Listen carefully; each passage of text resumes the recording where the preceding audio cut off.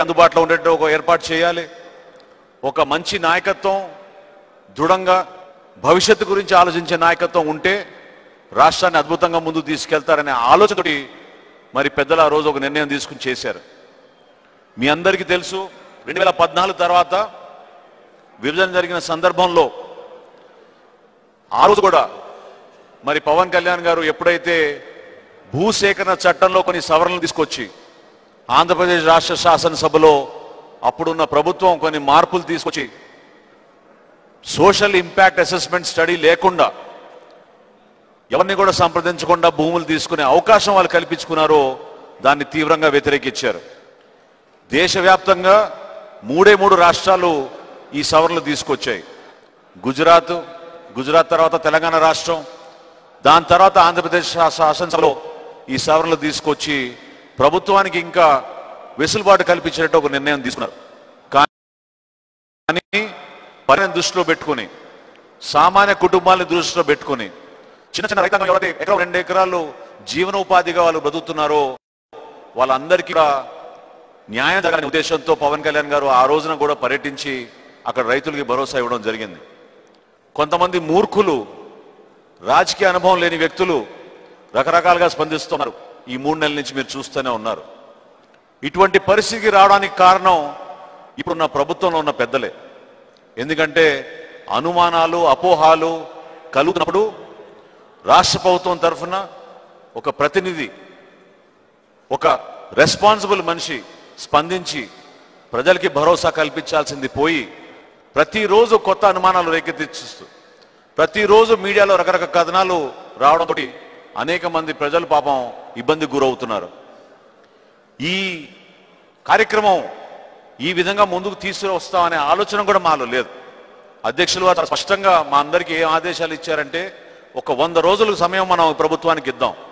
వంద రోజులు వాళ్ళ పరిపాలన చూసి ఎందుకంటే ఒక డెమోక్రసీలో ఎన్నుకోబడ్డ ప్రభుత్వానికి ఆ గౌరవం మనం ఇద్దాం. ముఖ్యమంత్రి గారికి వారి క్యాబినెట్లో ఉన్న మంత్రులందరికీ అవకాశం కల్పించిన తర్వాత ప్రభుత్వం పైన మనం స్పందిద్దాం. అప్పటి వరకు మనం కొంచెం సమయం కేటాయిద్దాం అని చక్కటి నిర్ణయం తీసుకున్నారు.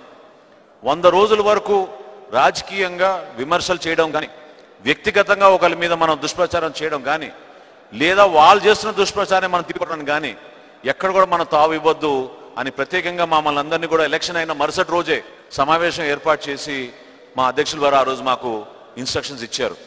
ఆ రోజు నుంచి కూడా జనసేన పార్టీ ఒక క్రమశిక్షణతోటి చిత్తశుద్ధితోటి జరుగుతున్న పరిణామాలన్నింటినీ కూడా మేము గుర్తిస్తూ వాటి గురించి సమాచారం తెప్పించుకుంటూ ఎంతోమంది ఎక్స్పర్ట్స్ మేము మాట్లాడుతున్నాం తప్ప బహిరంగంగా వచ్చి ప్రభుత్వం చేస్తున్న కార్యక్రమాల గురించి విమర్శించడం అనేది ఈ రోజు వరకు జరగలేదు. దయచేసి మిమ్మల్ని అందరినీ నేను మనవి చేసేది ఏంటంటే రాజకీయాల్లో శత్రుత్వం అనవసరం. రాజకీయాల్లో ప్రత్యర్థులు చాలా అవసరం. ప్రజాస్వామ్యంలో గొప్పతనం అదే. అనేక పక్షాలు ఉండాలి. చాలామంది మాట్లాడాలి. ఎంతోమంది వాళ్ళ సమస్యలు చెప్- చెప్పుకుంటున్నప్పుడు ప్రజాప్రతినిధులుగా ఒక రాజకీయ పార్టీగా మాకున్న బాధ్యతని మేము నెరవేర్చాలి. జనసేన పార్టీ ముందు నుంచి కూడా సామాన్య పౌరుడి కోసం సమాజంలో ఉన్న సమస్యల గురించి సమస్యల గురించి గుర్తించడమే కాకుండా ఆ సమస్యలు పరిష్కారం చేసే విధంగా ముందుకెళ్దామనే నిర్ణయం తీసుకుని ప్రతి జిల్లాలో కూడా ఎక్కడ ఎటువంటి సమస్య వచ్చినా సరే మైనింగ్ గురించి సమస్య కానివ్వండి హాస్పిటల్ గురించి సమస్య కానివ్వండి కొన్ని ప్రాంతాల్లో మౌలిక సదుపాయాల సమస్యల గురించి కానివ్వండి ఏ జిల్లాలో పర్యటించినా కూడా పవన్ కళ్యాణ్ గారు దాన్ని ఒక ప్రొఫెషనల్ విధానంలో ఆలోచించుకుని ఒక మంచి టీంని ఏర్పాటు చేసి సమాచారం మొత్తం మేము తెప్పించుకుని అది ఖచ్చితంగా ఈ సమాచారం మనం నమ్మగలిగే పరిస్థితుల్లో ఉంటేనే దాని గురించి మేము స్పందించి అనేక సందర్భాల్లో మేము దీని గురించి ప్రభుత్వం దృష్టికి తీసుకెళ్ళాం. ఈ రోజు ప్రభుత్వంలో ఒక ఒక మంచి తీర్పు ఇచ్చారు ప్రజలు.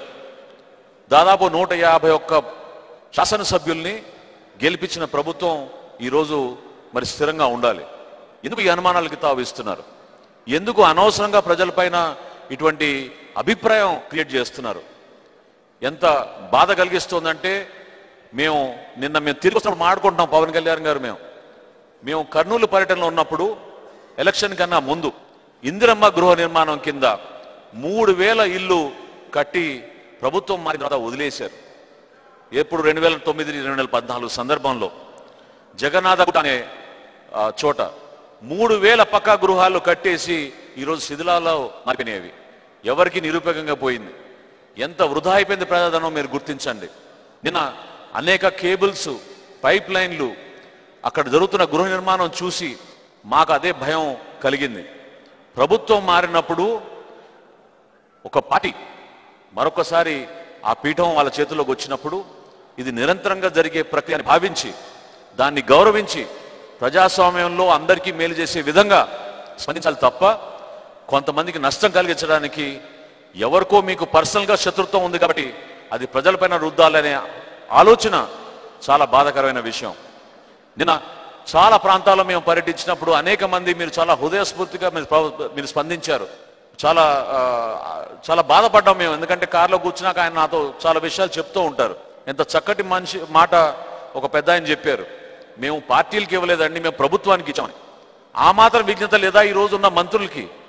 అక్కడున్న రైతులు వాళ్ళ కుటుంబాలు వాళ్ళు తరతరాల నుంచి అక్కడ వ్యవసాయం చేసుకుంటున్న మనుషులు ఒక రాష్ట్రానికి రాజధాని వచ్చింది రాజధానికి మనం కొంతవరకు మనం త్యాగం చేద్దాం సహాయం చేద్దాం ఏదో విధంగా మన కుటుంబాలు మన బిడ్డలు కూడా బాగుపడతారనే ఉద్దేశంతో ఉన్న రెండు ఎకరాలో ఎకరమో మూడు ఎకరాల్లో వాళ్ళు మరి ప్రభుత్వానికి అప్పచెప్తే ఈ రోజున మీరు విచిత్రంగా అది కొంతమందికే పరిమితం అయిందని ఒక ప్రాంత ప్రజలకే ఉపయోగపడిందని ఒక పార్టీకే ఉపయోగపడిందని ఈ విధంగా మాట్లాడుకుంటే ప్రజాస్వామ్యంలో మనందరం ఏం చేయాలి? చిన్న ఇన్ఫర్మేషన్ నేను మీతో షేర్ చేయాలి. ఎందుకంటే మాకు కూడా ఇటువంటి సమాచారం వస్తున్నటువంటి అధ్యక్షులు వారు తెప్పించారు ముప్పై నాలుగు వేల మూడు వందల ఇరవై రెండు ఎకరాలు భూసేకరణ రైతుల దగ్గర నుంచి స్వచ్ఛంద వస్తే అందులో ఒక ఎకరం లోపు ఇచ్చిన రైతులు పదివేల ముప్పై నాలుగు మంది. ఒక ఎకరం నుంచి ఒక ఎకరం నుంచి రెండు ఎకరాలు ఇచ్చిన రైతులు ఏడు వేల నాలుగు వందల అరవై ఐదు మంది రైతులు. రెండు నుంచి ఐదు ఎకరాలు. నిన్న ఒక ఒక ఆడ మనిషి వచ్చి చెప్పారు కళ్యాణ్ గారికి. మా అమ్మచిందండి నాకు ఈ భూమి పెళ్ళప్పుడు. రెండు నుంచి ఐదు ఎకరాలు ఇచ్చిన రైతులు పదివేల నూట ఒక్క మంది. ఏమైపోయింది ప్రభుత్వం? అరవై నాలుగు శాతం రిజిస్ట్రేషన్ చేశారు కదా మరి మీ రైతులకి ఆ మాత్రం లెక్కలు లేవా మీ దగ్గర? ఎందుకు ఈ మంత్రులు స్పందించి ఇటువంటి పరిస్థితులకు ఏర్పాటు చేస్తున్నారు? సమాజంలో ఒక బాధ్యత కలిగిన వ్యక్తులుగా ఈ రోజు అక్కడ జరుగుతున్న కార్యక్రమాన్ని చూసి నూటికి నూరు శాతం జనసేన పార్టీ కట్టుబడి ఉంది. అధ్యక్షులు వారు పదే పదే చెప్తూనే ఉన్నారు ఈ మాట. అవకతవకలు జరిగినాయి అనే విషయాలు మీకు దృష్టికి తీసుకొస్తే ప్రభుత్వం దగ్గర సమాచారం ఉంటే తప్పకుండా మీరు దాని గురించి విచారించి శిక్షించండి. అంతేగాని సామాన్యుల్ని మాత్రం ఇబ్బంది పెట్టబాకండి. రైతాంగాన్ని ఇబ్బంది పెట్టబాకండి. ఈ ప్రాంత అభివృద్ధిని మీరు వెనకకి తీసుకెళ్ళబాకండి. ఈరోజు దేశంలో ప్రతి పత్రిక ప్రతి టీవీ ఛానల్ అమరావతి గురించి చర్చిస్తున్నారు. ఎంత బాధ కలిగిస్తుందంటే వేల మంది ఇక్కడి నుంచి తరలి వెళ్ళిపోయారని. సుమారు ముప్పై నాలుగు వేల మంది ఎవరైతే కూలి కోసం చిన్న చిన్న పనులు చేసుకోవడానికి కోసం ఇతర రాష్ట్రాల ఇతరులు వచ్చారు. వాళ్ళందరూ కూడా తిరిగి వెళ్ళిపోతే ఆ ప్రాంతాల్లో ఈ రోజున లా అండ్ ఆర్డర్ సమస్య బయటకు వచ్చింది. ఈ రోజు హిందుస్థాన్ టైమ్స్లో ఈరోజు పెద్ద ఆర్టికల్ ఇవ్వాలి. బీహార్లోను ఉత్తరప్రదేశ్లోను ఈ కాంట్రాక్టర్లు ఎవరైతే పాపం వేల మందిని తరలించి తీసుకొచ్చారో అమరావతిలో పోలవరంలో ఈ రెండు ప్రాంతాల్లో పనిచేయడం కోసం వాళ్ళు డబ్బులు ఇవ్వలేని పరిస్థితుల్లో వాళ్ళ ఇళ్ళ పైన అక్కడ దాడులు జరుగుతున్నాయి ఉత్తరప్రదేశ్ బీహార్లోనూ. ఇది దే- ఇది కేవలం మన అమరావతి మన ఆంధ్రప్రదేశ్ రాష్ట్ర ప్రజలకు సంబంధించిన విషయమే కాదు ఈ రోజున. దేశవ్యాప్తంగా అమరావతి అంటే ఆంధ్రప్రదేశ్ రాజధాని అని గుర్తించారు. ఇక్కడ ఇటువంటి నిర్ణయాల వలన దేశవ్యాప్తంగా ఈరోజు ఉన్న ఆర్థిక పరిస్థితిలో చాలా ఇబ్బంది కలిగే వాతావరణం సృష్టిస్తున్నారు. మేమందరం కూడా పవన్ కళ్యాణ్ గారితో ఈ ప్రయాణంలో ఉన్నప్పుడు మేము కట్టుబడి ఉన్నది ఒకటే. ఇక్కడే ఉంటున్నాం మంగళగిరి పక్కనే మన ఆఫీసు. మీరందరూ కూడా ఏ సందర్భంలో ఏ సమయంలో మీకు ఎటువంటి ఇబ్బంది కలిగినా జనసేన పార్టీ మీ తరఫున ఎప్పుడు అండగా ఉంటుంది మీకు నిలబడతాం. మేమందరం కూడా మేమందరం కూడా పెట్టుబడులు ఇంకా రావాలి. ఈ ప్రాంత ప్రజలు ఇంకా సంతోషంగా ఉండాలి. భావితరాలకు ఉపయోగపడాలి. మేము మొన్న అమెరికా వెళ్ళినప్పుడు చాలామంది ఎన్ఆర్ఐస్ మా దృష్టికి మేము వెళ్ళింది జూలై నాలుగో తారీఖున. ఈరోజు ఆగస్టు ముప్పై. ముప్పై ఒకటి. జూలై నాలుగో తారీఖునే కొంతమందికి అనుమానాలు వచ్చినాయి. ఎందుకంటే ముఖ్యమంత్రి గారు వారి సహచార మంత్రులు ప్రైవేట్గా అనేక సందర్భాల్లో చాలా మందితో ఇటువంటి కామెంట్స్ చేశారు కాబట్టి వాళ్ళకి అనుమానం వచ్చి మేము ఏదో జీతాలతోటి కష్టపడి కొనుక్కున్న ఒక ఎకరం రెండు ఎకరాల భూములు అమరావతి రాజు కొనుక్కున్నామండి. రాష్ట్రానికి కొత్త రాజధాని వచ్చిందని రకరకాల వార్తలు వస్తున్నాయి. దయచేసి మీరు స్పందించండి ఆ రోజు కోరారు. కానీ ఆ రోజు మేము తీసుకున్నాం ఆ నిర్ణయం ముందే తీసుకున్నాం కాబట్టి వంద రోజుల వరకు మాట్లాడుకుంటున్నాం కానీ నిన్న మీరందరూ మా అధ్యక్షుల వారిని చాలా ఒక మంచి ఆలోచనతోటి మీరు ఆయన దగ్గరకు వచ్చి రిప్రజెంటేషన్ ఇచ్చినప్పుడు ఆ ప్రాంతాన్ని సందర్శించి జనసేన పార్టీ తరఫున మేము ఏ విధంగా మీకుతో నిలబడతాం ఏ విధంగా మేము కార్యక్రమం చేస్తాం వివరణ ఇవ్వడానికి ఆయన చేసిన పర్యటన చాలా మమ్మల్ని అందరిని కూడా కదిలించింది. అందరూ గమనిస్తారు రాష్ట్ర వ్యాప్తంగా ప్రపంచ వ్యాప్తంగా ఇక్కడ జరుగుతున్న అభివృద్ధి కార్యక్రమాలు ఏ విధంగా మనం ఎమోషనల్గా కనెక్ట్ అయిపోయాం ఆల్రెడీ ఇదేదో ఒక ప్రాంతానికి నష్టం జరుగుతుందనో లేకపోతే ఇతర ప్రాంతాల నుంచి మనం ఇటువంటి సౌకర్యాలు రావనో కాదు. రాష్ట్రం మొత్తం అన్- అన్ని చా- ప్రాంతాల్లో అభివృద్ధి జరగాల్సిందే. అందరికీ మేలు జరగాలి. కానీ ఒక రాజధాని అనేది మాత్రం ఎంతో అవసరం. ఎందుకంటే సుమారు యాభై శాతం వనరులు ఆదాయం ఒక రాష్ట్రానికి ఆ క్యాపిటల్ ఏరియా నుంచే వస్తుంది. హైదరాబాద్ తీసుకోండి మీరు ఏ రాజధాని తీసుకోండి. అక్కడ కడుతున్న ట్యాక్సెస్ కానివ్వండి అక్కడ ఉన్న సౌకర్యాల వల్ల కానివ్వండి ఒక రాష్ట్ర బడ్జెట్లో సుమారు ట్యాక్సెస్ రూపంలో ఆదాయం యాభై శాతం వరకు కేవలం రాజధాని ప్రాంతం నుంచే వస్తుంది. కాబట్టి ఈ ప్రాంతం అభివృద్ధి జరగాలి.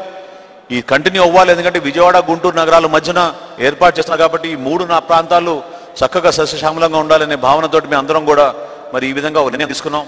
ఎంతో గర్వపడుతున్నాం ఈరోజు మీరు మా మా కార్యాలయానికి రావడం. మీరు మా కార్యాలయానికి రావడం. మా అధ్యక్షులు పవన్ కళ్యాణ్ గారి పైన మీరు చూపించిన అభిమానం. విశ్వసనీయత. ఎందుకంటే ఒక నాయకుడు అనేది ఈ విధంగా ఉండాలి. మీకోసం పోరాడడానికి వెనకాడకుండా నిరంతరం నిలబడి నిరంతరం నిలబడి ప్రజా సమస్యలపైన తన స్వార్థం లేకుండా రకరకాల మాటలు బయట మీరు వింటూ ఉంటారు గతంలో మీరు వినుంటారు. ఇప్పుడు అసలు మీరు కలిశారు కాబట్టి మీకు అర్థమవుతుంది. ఆయన ఎటువంటి మనిషి ఎటువంటి ఆలోచనలు ఉన్నాయి? దేశం గురించి ఆలోచించే వ్యక్తి ప్రజల సంక్షేమం గురించి ఆలోచించే వ్యక్తి ఆయన గురించి మీరు తెలుసుకున్నాక మీకే అర్థమవుతుంది. ఈ పోరాటం ఎందుకు దిగాం? ఎందుకు జనసేన పార్టీని ఈ విధంగా ముందు తీసుకెళ్తాం అనే నమ్మకం మీలో రావాలి. మాతో పాటు ఈరోజు మిత్రుడు శ్రీనివాస్ యాదవ్ గారు మొన్న గుంటూరు పార్లమెంట్ నుంచి పోటీ చేశారు జనసేన పార్టీ తరఫున. ఆయన కూడా ఆహ్వానం అలాగే పెద్దలు లక్ష్మి గారు తర్వాత మన రామారావు గారు దుర్గా ప్రసాద్ గారు రైతులు ఈరోజు వాళ్ళు కూడా కొంతమంది రైతులు మాట్లాడడానికి ముందుకు వచ్చారు అందరినీ స్వాగతిస్తూ ఇప్పుడు ముందుగా మన లక్ష్మి గారిని ఈ కార్యక్రమంలో మాట్లాడమని కోరుకుంటున్నాను.